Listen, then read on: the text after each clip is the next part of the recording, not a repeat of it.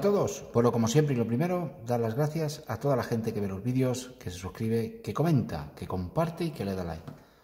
Un saludo, compañeros. Bueno, aquí tenemos una máquina que es un breakfast market. Esto servía para aquí, para calentar el café y aquí para el pan, tostar el pan. Esto es súper interesante, a ver si la pudiera sacar entera, porque ya viene con el león y con el control hasta 15 minutos. Bien, vamos a empezar a desmontarlo. Bueno, muy interesante. Han salido unas resistencias de cuarzo, tres en concreto. Están puestas en serie.